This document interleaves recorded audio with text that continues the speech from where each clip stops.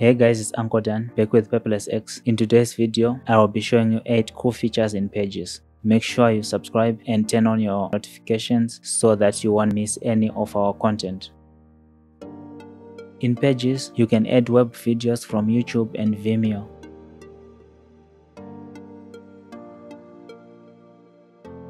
You can move the embedded video or resize it. Tapping on the video lets you comment on it. In Pages, you can comment on anything. It's cool seeing the feature is also available on videos too. For YouTube videos, you get all the playing options you would get in the YouTube app. Presenter mode only works with word processing documents, it doesn't work with page layout. It is like the immersive reader you find in OneNote, a mode where you can focus on what you are reading without the distracting user interface of the app.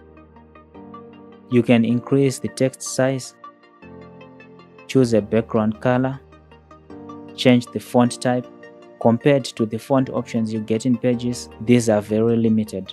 You can also adjust text options to make everything all caps increase or decrease line spacing, or adjust margins.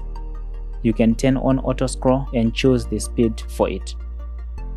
This feature doesn't display text boxes, shapes, tables, caption, headers, and other objects. That's why it doesn't work with page layout. Gradient gradually blends two colors for your text and objects. It changes from one color to another at angles you choose. To get started, pick your start and end colors. Flip color to switch their positions and set an angle you want. You can also apply gradient to the entire page. You can apply colors from an image and play around with different looks. You can add color overlay and pick a few color for your image, whose opacity you can adjust. It's fun playing around with colors in pages. Instant Alpha removes unwanted backgrounds or colors from images to make them transparent. This works better with regular shapes because the app doesn't always select the exact sections you want.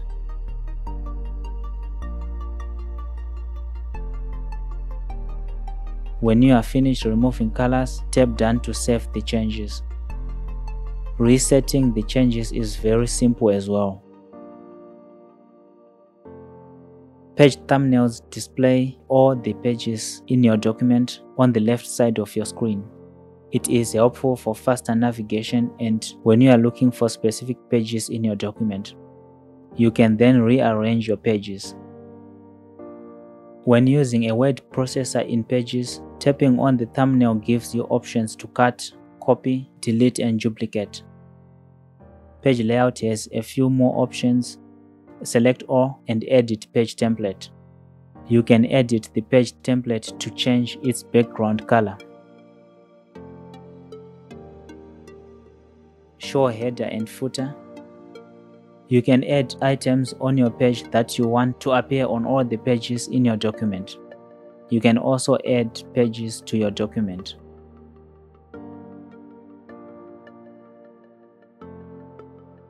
Pages has a lot of objects that you can add to your document. The app organizes them into several categories. You can search for an object you need to work faster. You can also add 2D, 3D, and interactive colorful graphs. You can add tables to your documents. Adding or removing rows and columns is very simple. You can customize the whole table or its cell. Tables and graphs in pages are very complex and we'll cover them in a different video. What's important to note is how much control you have over them. Pages is both a word processing and a page layout app. Word processors primarily create text documents. Examples of such apps include Microsoft Word and Google Docs you want to use word processing if your document is mainly text. Page layout, on the other hand, gives you a canvas for creating custom designs like posters, books, and newsletters. You need to add a text box to type in your text.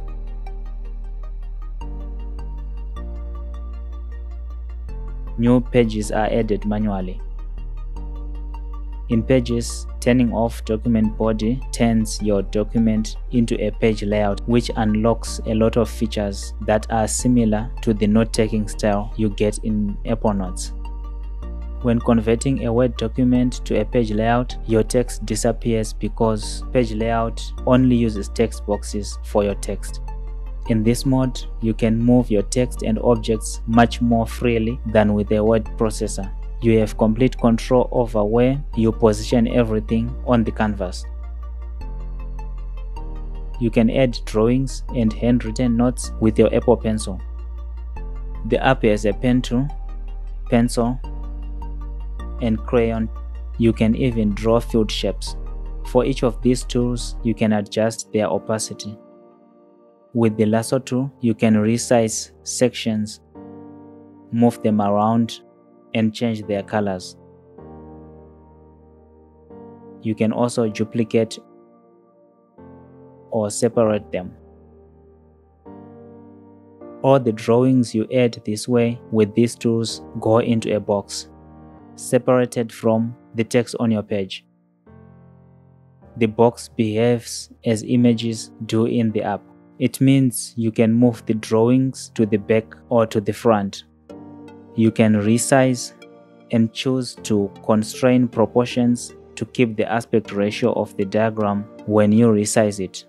Turn this option off if you want to either shrink or stretch your drawing.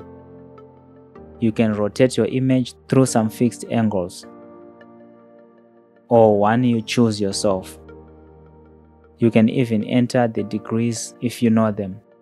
You can flip horizontally or vertically. Move with text gives you text wrap options when you turn it on.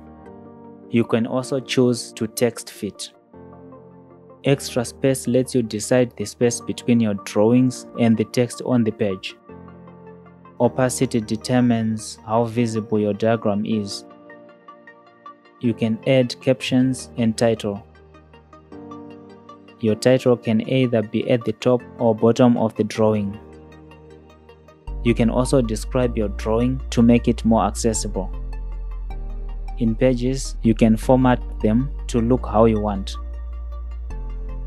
You also get a cool feature to animate drawings if you want to make your document more interesting. duration lets you decide how long you want the animation to last and you can loop it to keep repeating. You can annotate your documents with the highlighter tool. Unlike the other tools we have mentioned so far, this does not create a box for your annotations. It annotates the text on the page, the kind of annotation you get with PDF readers. The highlighter tool has two writing tools you can use for annotations, a pen and a highlighter. The highlighter goes in front of your text.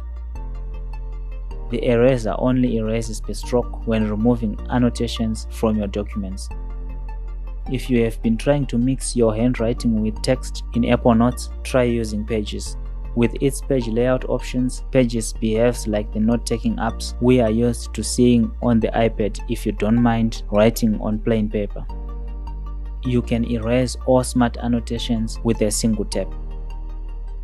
You can control what your Apple Pencil does. Under the three dots icon, go to Apple Pencil to turn on Select and Scroll. That way you can scroll your documents with your Apple Pencil. When you want to add drawings, you go to the plus icon, then drawing. To start annotating your documents, go to the three dots icon and then smart annotation. If you handwrite notes more than you type them, you can switch this off. Or turn on the option to switch with double tap if you use the second generation Apple Pencil. Let us know how you use pages and if you have any interesting features you would like to share with us. Thank you for watching.